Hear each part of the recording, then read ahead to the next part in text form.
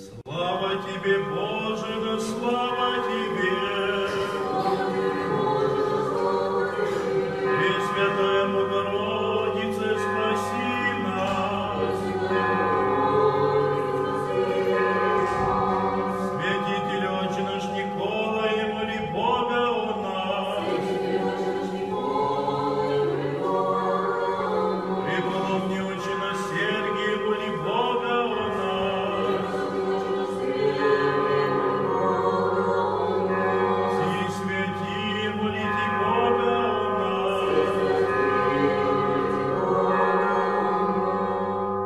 Во имя Отца и Сына и Святого Духа.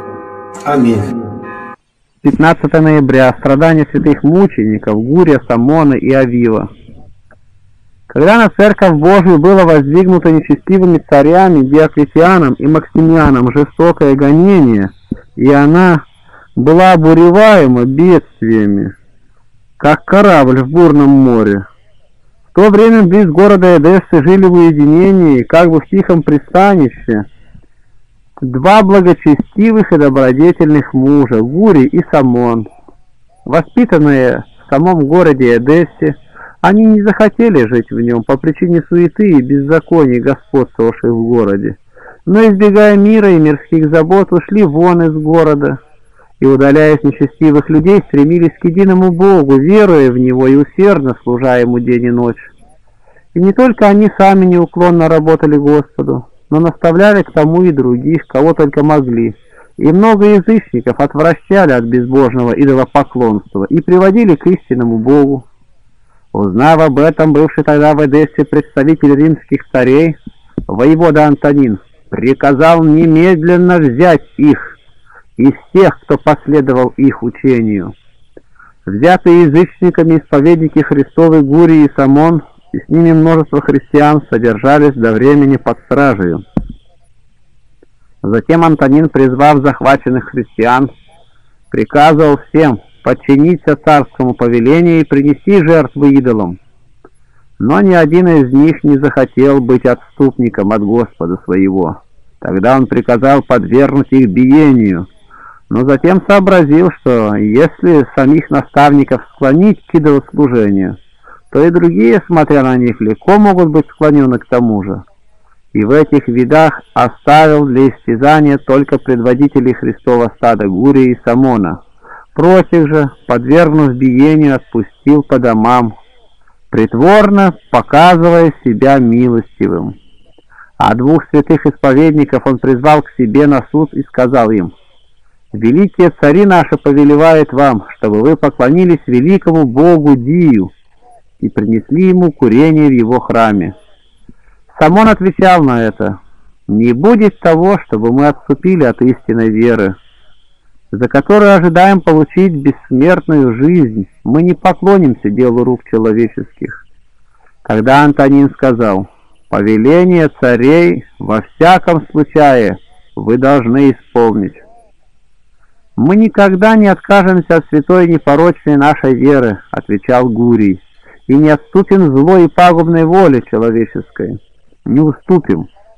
Но мы исполняем волю Господа нашего, который говорил, «Всякий, кто исповедует меня перед человеком, исповедую его и я перед Отцом моим небесным. А кто отвергнется меня перед человеками, отрекусь от того и я перед Отцом моим небесным». Тогда судья начал угрожать им смертью, если они не подчинятся царской воле. Но святой Самон смело сказал ему, «Мучитель, мы, исполняя волю Создателя нашего, не умрем, но жить будем вовеки. А если последуем царскому повелению, то и не убитые тобой сами погибнем». Услыхав это, Антонин приказал бросить святых в мрачную темницу. В то время прибыл в Эдессу правитель области Музоний, нарочно посланный царями для предания христиан смерти. Выведши святых мучеников Гури и Самона из темницы, он поставил их перед собой и сказал им, «Таково повеление царей всей земли, чтобы вы принесли вино и курение на алтарь Дия. Если же не принесете, то я заставлю вас вытерпеть различные мучения. Посредством ударов раздроблю тело ваше, повесив вас за ноги и руки, разорву все суставы. Изобрету для вас новые неслыханные мучения, которых вам не перенести». На все это святой Самон отвечал, «Мы более боимся червя неусыпающего и огня неугасимого, уготованных для всех отступников от Господа, нежели тех мучений, какие ты перечислил. Ибо тот, которому мы приносим духовную жертву, прежде укрепит нас в перенесении мучений и сделает неодолимыми, а затем, избавив нас от рук Твоих, вселит нас в светлые обители, где находится пребывание всех веселящихся. Итак, мы не боимся Твоей угрозы, потому что Ты вооружаешься только против тела, но не можешь повредить душе, которая пока живет в теле, до тех пор все более очищается и просвещается наносимыми телу страданиями. Если внешний человек нашей тлеет, то внутренне обновляется со дня на день, поэтому терпение течем на предлежащий нам подвиг. Правитель сказал снова, «Оставьте свое безрассудство, послушайтесь моего совета, и, отступив от своего заблуждения, исполните царское повеление, ибо вам не перенести тех мучений, какие я приготовил для вас». Святой Гурий отвечал, «Мы не заблуждаемся, как ты думаешь, и не послушаемся твоего безумного совета, и не подчинимся царской воле. Не будем настолько малодушны и безумны, что бояться твоих мучений и тем прогневать Господа нашего. Мы рабы того, кто, являя нам богатство своей благости, положил душу свою за нас. Как же и нам не стоять за него даже до крови? Станем мужественно, укрепляемые Христом Иисусом, станем непоколебимыми при всех вражеских ухищрениях, станем, пока не низложим врага, восстающего на нас. Видя их непоколебимость в вере, мучитель приступил к истязаниям. Он велел повесить святых, связав руку одного с рукой другого и привязав к ногам их тяжелый камень. В таком положении они терпеливо висели от третьего до восьмого часа. В это время правитель производил суд над другими. После этого он спросил святых, Соглашаются ли они подчиниться царскому повелению, чтобы освободиться от истязания? Но они неизменно продолжали исповедовать истинную веру. Когда мучитель приказал отвязать их и бросить в темницу, крайне тесную, которой и свет дневной никогда не показывался, и куда ветер не проникал. В такой темнице они пробыли с первого дня августа до 9 числа ноября, с забитыми в дерево ногами они претерпевали жестокие страдания, голод и жажду, и, несмотря на то, не переставали возносить благодарение Богу. После столь тяжкого и долговременного пребывания в темнице они снова выведены были на суд к правителю. Святой Гурий был уже едва жив, изнемогший от многих стеснений в темнице, от великого голода и жажды, а святой Самон казался крепким, Правитель спросил их, не наскучило ли вам быть столько времени в темнице, и не переменили ли вы своего ожесточенного сердца, чтобы, послушав здравого совета и почтивши наших богов, освободиться от настоящего тяжелого положения? Святые отвечали, что говорили мы тебе прежде, то и теперь говорим. Не отступим от Господа нашего Иисуса Христа, мучай нас, как хочешь.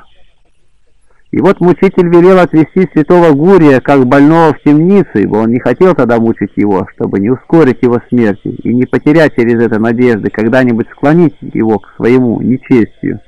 Святого же Самона приказал повесить за одну ногу вниз головой, а в другой ноге привязать железную тяжесть.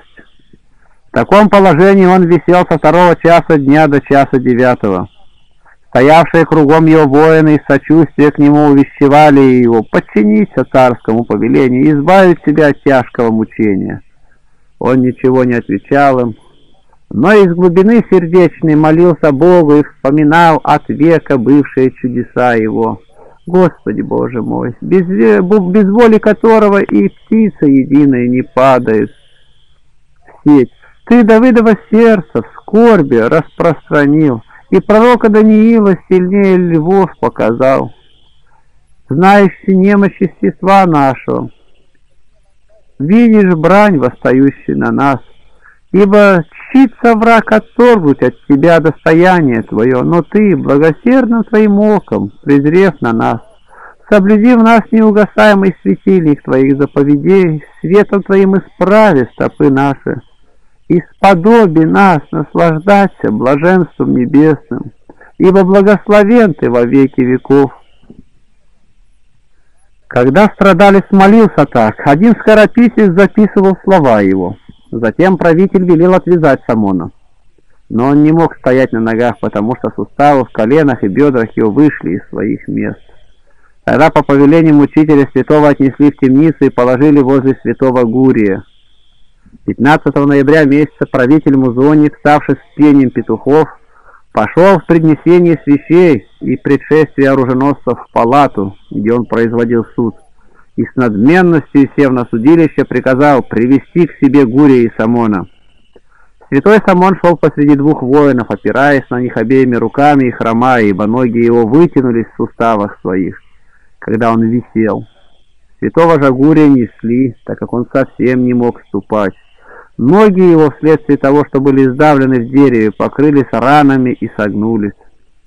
Взглянув на святых, правитель начал говорить. «Вы имели довольно времени для обсуждения вопроса, что лучше избрать, жизнь или смерть. Скажите же, на что вы согласились? Наскучили ли вам прежние истязания, и надумали ли вы исполнить повеление царей, чтобы остаться еще в живых и насладиться благами мира?» На это святые отвечали, «Мы обсудили и избрали то, что нам послужит на пользу. Избрали смерть за Христа, пренебрегший жизнью в суетном мире. Довольно для нас и минувшего времени, в которое мы насмотрелись на дневной потухающий свет. Души наши желают теперь перейти к немерцающему дню». Правитель сказал, «Тяжело моим ушам слышать ваши противные речи. Вкратце даю вам полезный совет». Положите фимиам на алтарь, Дия, и идите домой. Если же не положите, то сейчас же велю отсечь вам головы. Говорить нам много нет надобности, отвечали святые. Вот мы перед тобою. Что хочешь делать, делай неотложно, ибо мы не перестанем утверждать, что мы рабы Господа нашего Иисуса Христа, и мы единому поклоняемся и идолопоклонство отвергаем. Тогда правитель сделал распоряжение, чтобы они были усечены мечом. Святые же, услышав об этом, возрадовались великой радостью, что скоро разрешатся от тела и пойдут к Господу своему. Правитель велел исполнителю казни положить мучеников на колесницу, отвезти далеко за город и там обезглавить их. Святые выведены были из города через северные ворота, Никто из граждан не знал об этом, ибо все были объяты глубоким сном. Привезши святых на одну гору, находящуюся в окрестностях Эдессы, воины остановились и велели исполнителю казни обезглавить мучеников. Сойдя с колесницы, святые попросили себе немного времени для молитвы, и, горячо помолившись, сказали наконец, «Боже и Отче Господа нашего Иисуса Христа, прими в мире души наши». Обратясь к исполнителю казни, святой Самон сказал, «Исполни, что тебе повелено». Тогда при рассвете дня исповедники, преклонив свои святые головы под меч, были обезглавлены и так скончались. Верующие, узнав о кончине святых мучеников, взяли святые мощи их и похоронились с честью. Мученическая кончина святых Гурий и Самона относится к 293 или 306 году. По прошествии значительного числа лет нечестивый царь Ликиний, это правитель восточной половины империи с 307 по 324 год, отделившись от Константина Великого, воздвиг в Никомидии гонение на христиан. Таким поступком он нарушил договор, какой заключил с ним Константин. Отдавая замуж за Ликини свою сестру и назначая его соучастником управления римским государством, Константин положил такого рода условия – чтобы Ликиний, хотя и язычник по вере, не делал никакого притеснения христианам, но предоставил каждому жить по своей вере, так что кому какая вера нравится, тот и держался бы ее невозбранно. Однако Ликини не сдержал этого договора. Восстал в восточных странах на христиан, и множество верующих предавал смерти различными способами. В это время в вышеупомянутом городе Эдессе, котором прежде пострадали святые мученики Гури и Самон, жил один диакон по имени Авив, который, ходя по всему городу из дома в дом, учил людей святой вере и убеждал быть мужественными в исповедании Христа. Своей проповеди святой Авив неверующих обращал ко Христу, а верующих увещевал жить богоугодно. Узнав о нем, градоначальник Лисани писал царю Ликинию, донося ему об Авиве, он весь город Эдессу наполнил христианским лжеучением. При этом спрашивал, какое относительно него будет повеление. Лисани писал царю, собственно, для того, чтобы получить от него право на мучение христиан, ибо ему еще не было поручено делать какое-либо насилие христианам. Царь немедленно отписал ему, чтобы он предал Авива смертной казни.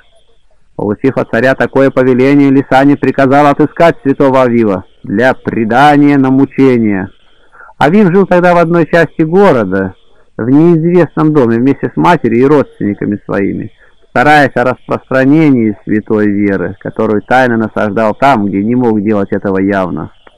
В то время как воины по всему городу искали блаженного Авива, он, узнав об этом, вместо того, чтобы скрываться, выйдя из дома, отыскивал искавших его воинов, чтобы самому отдаться им в руки. Встретив в одном месте военачальника по имени Феотекна, он сказал ему, «Вот тот, кого вы ищете, ибо я Авив, которого приказано отыскать вам. Возьмите же меня и ведите к пославшему вас». Феотекон кротко взглянул на него, сказал, «О, человече, пока еще никто не заметил, что ты подошел ко мне, отойди и скройся, чтобы кто другой из воинов не увидел тебя и не захватил». Аив отвечал, «Если ты меня не возьмешь, то я сам пойду к градоначальнику и исповедую Христа моего перед царями и владыками». Услышав это, Феотекн привел его к Лисанию. Тот спросил его о роде и имени. Святой прежде всего объявил, что он христианин. Затем, сказав свое имя, сообщил, что родом он из села, называемого Селсея. Лисаний принуждал его принести жертву идолам и старался то угрозой, то лаской отвратить его от Христа и склонить к идолослужению. А он как бы столб непоколебимый и стена нерушимая – оставался тверд в исповедании Христовом.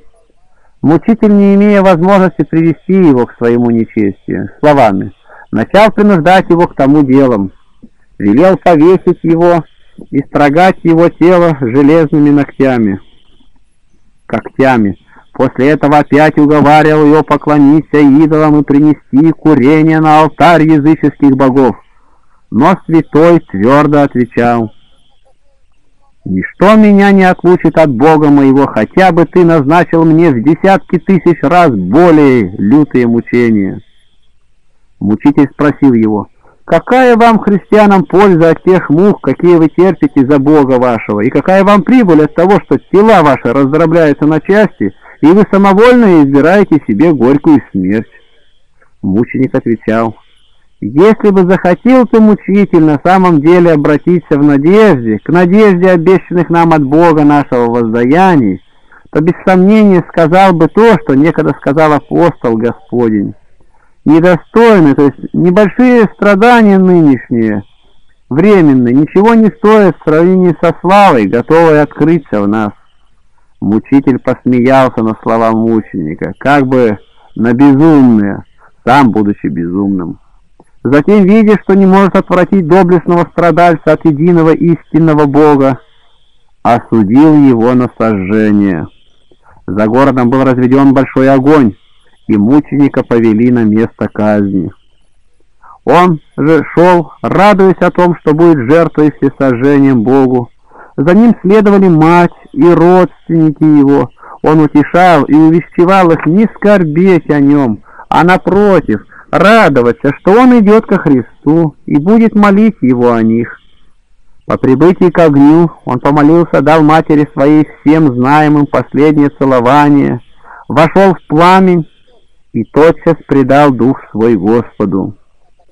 Когда огонь погас, мать с прочими верующими нашла тело святого сына своего неповрежденным от огня и, взяв его, помазала миром и погребла при гробе прежде пострадавших святых мучеников Гурия и Самона, ибо святой Авив пострадал в тот же день по прошествии значительного числа лет, в который прежде пострадали и те святые. Мученическая кончина святого Авива последовала в 322 году. Когда же гонение прекратилось и воссияла православная вера, христиане соорудили церковь во имя этих трех святых мучеников и в ней положили в одной гробнице святые мощи их, источающие исцеление болящим и совершающие многие чудеса. Из них воспомянем здесь одно преславно совершившееся чудо — Некогда двинулся с востока на греческое царство нечестивый варварский народ, живший близ Персии, называвшийся Ефалитами. Так называлось племя гуннов, живших в нынешних Нерве и Афганистане. И завоевав много городов, дошел до самой Эдессы с намерением взять и разрушить его, как разрушил и прочие города. И вот греческие цари, желавшие защитить город от врагов и освободить его от осады, собрали множество своих воинов и послали их на помощь Эдессе. Войдя в Эдессу, греческие войска остались в нем значительное время, оставались, защищая город от варваров. Был в греческом войске один воин по происхождению Готф. Готфы или Гот – это самое восточное и многочисленное германское племя, обитающее в придунайской низменности. Случилось ему в Эдессе жить в доме некоторой целомудренной вдовицы по имени Софии, имевшая единственную дочь, именуемую Исимию, которую она берегла, как зеницу ока, соблюдая в девстве и поучая благим нравам и страху Божию. София старалась скрыть ее от человеческих глаз, потому что она была очень красива лицом. Она скрывала ее в особой комнате, чтобы не видал ее глаз мужчины. Во время продолжительного пребывания Готфа в доме этой вдовы случилось ему однажды увидеть эту отраковицу Пораженный ее красотой, он воспламенился к ней страстью и только и думал, как бы прельстить ее. Приступив к матери, он начал просить ее, чтобы отдала за него дочь свою, и хотя имел на родине жену и детей, но скрыл это, притворяясь, будто не женат, чтобы получить желаемое. Однако мать отказывала ему. «Не отдам единственной дочери своей в чужую землю, ты человек пришлый, Отведешь свою землю, дочь мою, а я останусь без нее в большой печали, потому что у меня нет другого детища, которое могла бы утешаться во вдовстве своем, кроме нее одной. Не отдам ее тебе, ибо жить не могу, не видя лица ее». Тогда год, придя в ярость, начал угрожать ей. «Если ты, — говорил он, — не отдашь дочери своей, то не выйду отсюда, пока не наведу на тебя многих бедствий и не подвергну тебя самому, к самому крайнему горю, ведь я воин и легко могу причинить тебе зло, какое только захочу». Вдова же, хотя и была одна, и не было никого, кто бы пришел к ней на помощь, смело возражала ему. После этого воин опять то ласково просил ее, то опять приходил в ярость, и то просьбами, то угрозами склонял вдовицу к тому, чтобы она отдала за него свою дочь. Таким образом, он докучал ей все время, пока жил там. Предлагал он ей некоторые подарки, ибо был не беден, покупал для нее и дочери ее золотые украшения, дорогие одежды, чтобы получить то, чего желал. Вдовица же и даров не принимала, и от самого его уклонялась, а девица укрывалась еще большей опасливостью, чтобы не видел ее этот беззаконник. Однажды она сказала ему, «Я слышала, что ты у себя на родине имеешь жену и детей, он же, побеждаемый желанием владеть от раковицы и не имея страха Божия, начал клясться и божиться, говоря, что никогда не был женат, и что хочет иметь женой и сделать госпожой над всем своим имением ее дочь. Тогда вдова София, поверив наконец, склонилась к его просьбе и согласилась выдать за него дочь свою Ефимию. Воздев руки к Богу, она сказала, «Владыка, отче сирот и судья вдовиц, призри милостиво на создание свое, и не оставь этой отраковицы, вступающей в брак с неизвестным мужчиной. Не презри моего сиротства и не оставь меня беспомощную, ибо, надеясь на твой благой промысел, я выдаю свою бедную дочь за человека пришлого, и тебя делаю свидетелем и поручителем его клятв и обещаний». Отраковица была выдана за этого Готфа, и по заключении брака они мирно зажили. Ефимия зачала, и прежде чем ей родить, неприятели отступили от города ни с чем, ибо не могли овладеть им, вследствие того, что бывшие в городе войска мужественно защищали городские стены и вели с врагами упорную борьбу, особенно же вследствие того, что город охраняли молитвы святых мучеников Гурия, Самона и Авива. Когда враги отступили греческим войскам, нужно было возвратиться домой, и этот год также заспешил к себе на родину. Мать, неутешно рыдая о разлуке со своей дочерью, пыталась взять ее у Готфа, не давая ему вести ее в чужую землю, но не могла расторгнуть супружеского союза, скрепленного законом. Когда уже лукавый зять собрался идти с супругой в путь, София привела его и дочь свою в церковь святых страстотерпцев, Гурия, Самона и Авива и, поставив перед гробницей мучеников, сказала зятю, «Не доверю я тебе своей дочери, если не дашь мне в поручители сих святых, пострадавших за Христа. Возьми же за святую раку и поклянись мне, что не сделаешь дочери моей никакого зла, но будешь беречь ее с должной любовью и уважением». Год, считая то делом неважным, тотчас безбоязненно взялся за честную раку святых мучеников и сказал – от рук ваших святые принимаю эту отраковицу, и вас беру поручителями и свидетелями перед матерью ее, что никакого зла не сделаю этой моей супруге, никогда не оскорблю ее, но буду хранить ее с любовью и почитать до конца». Так говорил Год, причем беззаконник еще и Богом клялся, не думая и не боясь того, что Бог отмщений Господь воздаст ему по делам его и погубит его за лукавство. Мать по выслушиванию клятвы этого зятя своего, с воплем сказала святым мученикам, «Вам после Бога, о святые мученики, поручаю свою дочь, и через посредство вас отдаю ее этому пришлому человеку». Таким образом, помолившись, они дали друг другу любезное целование и разошлись. Вдова София возвратилась к себе домой, а год с Ефимией пошел в путь. Причем находившегося при нем раба он отпустил от себя, чтобы эта тайна не сделалась известной в доме его. Когда они, прошедшие весь путь, достигли отечества Готфа и были уже близ дома его, он с большой жестокостью восстал на жену, как враг. Забыв любовь к ней и пренебрегши клятвами, снял с нее дорогие одежды и золотые украшения, и одел ее бедно, как пленницу и рабу, и, обнажив меч, дал ей такой наказ. «Если хочешь быть в живых, то, войдя в мой дом, никому не говори ничего о том, что было между нами, а говори, что ты пленница, ибо я имею в своем доме жену и детей. Ты же будь моей рабой и повинуйся ей во всем, как своей госпоже. А если объявишь ей или скажешь кому из моих родственников, что я женился на тебе, то увидишь мой меч на шее своей и умрешь. Увидев себя обманутой и оскорбленной злым варваром, услыхав угрозы его, Ефимия сказала ему, это ли любовь твоя? Это ли исполнение твоих обещаний? Таковы ли были твои клятвы, и таково ли было у тебя намерение, чтобы меня, твою супругу, сделать пленницей и свободную рабою?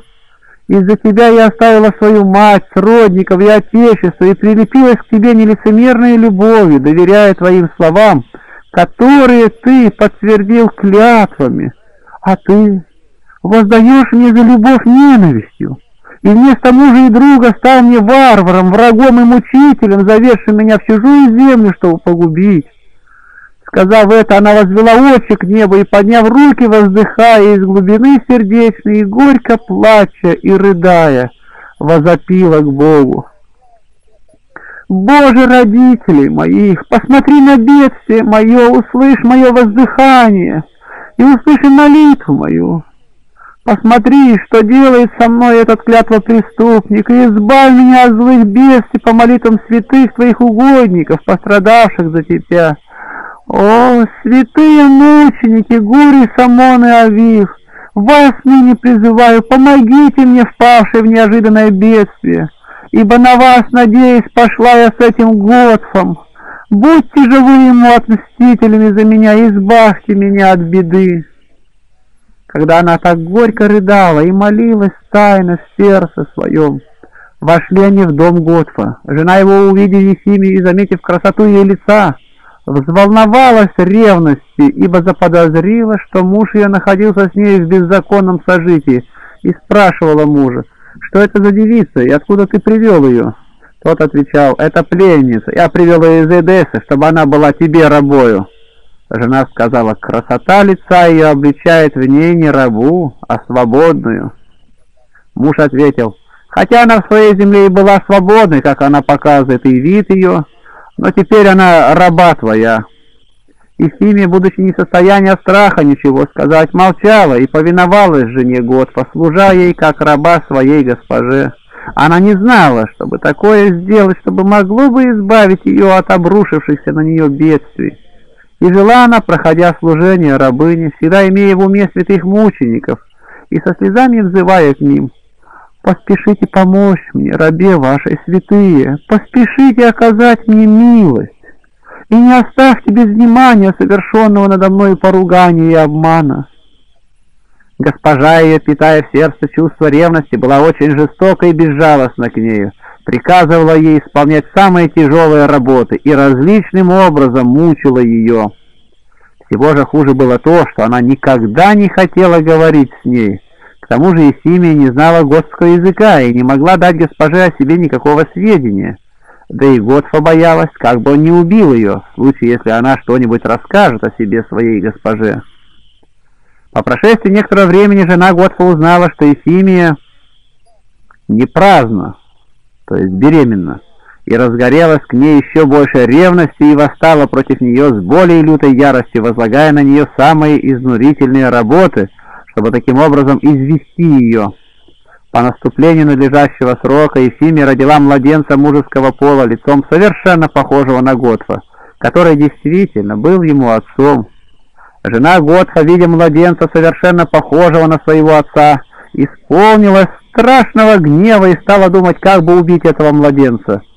Она сказала мужу, «Зачем ты запираешься, что не познал этой отраковицы? Ведь вот рожденный ею младенец обличает явно твое дело, потому что он совершенно твое подобие». Год опять стал запираться, говоря, это неправда. Я никогда не сожительствовал с ней. Ты же имеешь над ней власть, и что хочешь, делай с ней, ибо она пленница и раба твоя. Тогда эта злая женщина замыслила отравить младенца.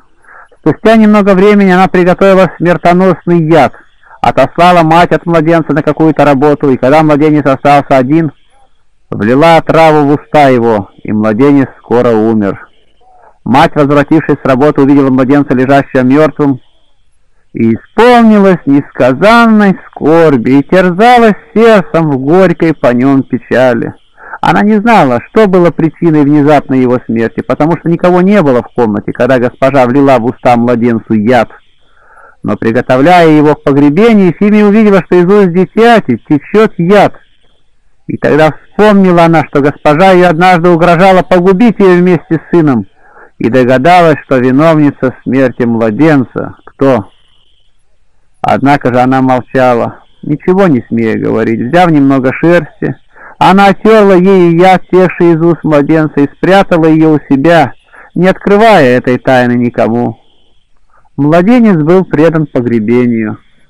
Через несколько дней год созвал друзей своих на ужин, и Ефимия служила при столе. Когда ей пришло время подавать чашу госпоже, она, желая узнать, действительно ли младенец ее умер отравленный госпожою, взяла ту шерсть, которая отерла уста сына, омочила ее в тай, тайно в питье, и затем, вынувши, выжила в чашу, и это питье подала своей госпоже. Та, ничего не зная, испила эту чашу, и таким образом несчастье обратилось на голову ее, ибо в ту же ночь жена Готха внезапно умерла, и таким образом впала в яму, которую сама же выкопала. На утро Год, вставший, увидел жену свою мертвой и пришел в ужас от неожиданной ее смерти. Весь дом исполнился плача, сошлись все родственники, друзья и соседи, и горевали о ней. Затем, сделав для нее роскошный гроб, торжественно положили в него мертвую. Когда минуло семь дней после погребения умершей, сродники ее вспомнили о девице, приведенной из Эдессы, и стали говорить, «Не иной, кто виноват во внезапной смерти нашей родственницы, как только эта пленница, которая всегда была к ней враждебна». И вот все восстали на Ефимии и хотели представить ее на суд правителю области, чтобы он мучениями выпытал от нее, как она умертвила свою госпожу. Но так как правителя тогда не было дома, то они переменили свое намерение и решили похоронить Ефимию живой вместе с умершей госпожой ее. Открыв гроб умершей, они положили Ефимию к трупу, издававшему запах, кишавшему червями и гнившему, чтобы она умерла там насильственной смертью. Кто может выразить скорбь Ефимии, ее печаль, боязнь и трепет, страх и ужас, рыдание и плач? Пусть кто-либо представит только себе страх живого человека, заключенного в гробе, вместе с смердящим трупом. Страх от мертвеца, зловоние от трупа, тьму и тесноту гробовую, кругом черви, дыхание смерти и несказанное страдание. Находясь в такой крайней тревоге, Ефимия в горести сердца прилежного запила к Богу из гроба, как некогда пророк Иона в чреве кита. Господи Боже сил небесных, сидящий на херувимах и видящий бездны, Ты видишь горечь сердца моего и тесноту в этом темном и смрадном гробе. Ты знаешь, что ради имени Твоего я отдана была за беззаконного Готфа, ибо он клялся Твоим именем, когда брал меня. Помилуй же меня ради имени Твоего святого. Ты мертвишь и живишь, изводишь в ад и изводишь. Избавь меня от этой горькой смерти и изведи из этого гроба, как из ада. Ибо ты силен и мертвых воскрешать, тем более можешь извести из врат смертных меня живую, но находящуюся близ смерти. Помилуй меня, владыка, ради святых мучеников Гурия, Самона и Авива, излияние крови которых и смерть за тебя принял ты, как чистую жертву. О, святые мученики! Вас поставил враг мой поручителем перед моей матерью. Итак, спасите меня!» Когда она молилась так в горести своей души, явились три светоносных мужа, сияющих как солнце, святые мученики, Гури, Самон и Авив. И тотчас смердящий запах в гробе исчез, и Фимия ощутила великое благоухание, исходящее от явившихся святых мучеников. Они сказали ей, Ободрись, дочь, и не бойся, ты скоро получишь спасение. Когда святые сказали это, сердце Ефимии усладилось и от пресветлого видения святых, и от утешительных слов их, исполнившись радости, она забылась и уснула сладким сном. Во время этого сна она была взята из гроба невидимой всемогущей силой Божией, в один час перенесена в Эдессу, в церковь святых мучеников Гурия, Самона и Авива, и положено при честной раке их. Была ночь, и в церкви совершалось обычное утреннее служение, когда она была перенесена сюда. Пробудившись от сна, она снова увидела святых мучеников, которые говорили ей, «Радуйся, дочь, и узнай, где ты теперь. Вот мы исполнили то, что обещали, иди же с миром к своей матери». Сказав это, они стали невидимы. Ефимия, вставшая, оглядывалась кругом, где они, она находится увидев церковные стены, иконы, свечи и честную раку святых мучеников, и притом еще услышавши пение клириков, она убедилась, что находится в Эдессе, в церкви поручников своих святых страстотерпцев Христовых Гурия, Самона и Авива. Тогда она исполнилась несказанной радости и веселья, и, обнимая с любовью гробницу святых мучеников, со слезами воздавала благодарение Богу и святым Его, за такую оказанную ей милость.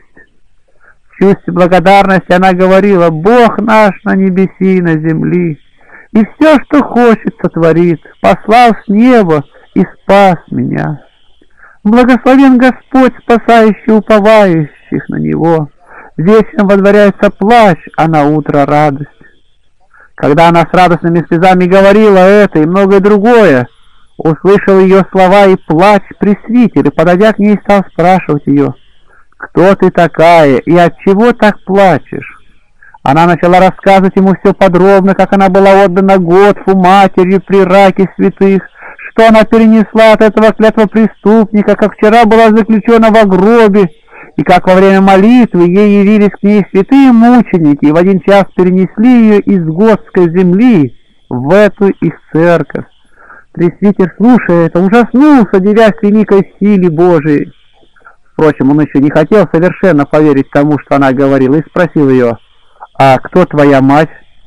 Узнав, что мать ее вдова София, пресвитер тотчас послал за ней, приглашая ее прийти в церковь. Мать, ничего не зная, немедленно пришла и, увидев дочь свою, стоящую при гробнице святых мучеников, одетую в бедные одежды, пришла в ужас от такого неожиданного зрелища. Подойдя к ней, она обняла и, павши к ней на шею, плакала. Плакала Ефимия, и обе от плача не могли сказать ни слова. Затем, не скоро, уняв слезные рыдания, мать спросила ее, «Как ты оказалась здесь, дочь моя, и почему ты одета в такие плохие одежды?» Тогда Ефимия рассказала ей подробно все, что перенесла в чужой земле от лукавого мужа, как вчера заключена была в гробу и чудесно спасенной перенесена явившимся ей святыми мучениками Гурием, Самоном и Авивом. Слыша все это, мать истаивала сердцем от жалости. И все находившиеся в храме, выслушав рассказанное, очень дивились и прославляли всемогущую силу и милость Божию. Павший перед гробницей святых мучеников, мать громким голосом возносила благодарение Богу и святым Его. И пробыли они весь тот день в церкви, молясь и благодаря Богу, и с любовью и усердием обнимая и лобызая раку святых мучеников. Поздно вечером мать с дочерью своей с радостью отправилась домой, славя Бога. На утро слух об этом чуде прошел по всему городу. Отовсюду собрались в дом вдовицы ее родственники и соседи, и в ужасе дивились тому, что рассказывала им Ефимия. Все хвалили имя Господне и величали и прославляли помощь святых мучеников. София с дочерью проводила богоугодно дальнейшие дни своей жизни. Всем рассказывали они о милостиво явленной им силе Божией. И Симия говорила, «Десница Господня сотворила силу, десница Господня от Готфов перенесла меня в Эдессу. Не умру, но жива буду, и расскажу о делах Господних». Клятва преступник уже Готфу Бог совершил отмщение следующим образом.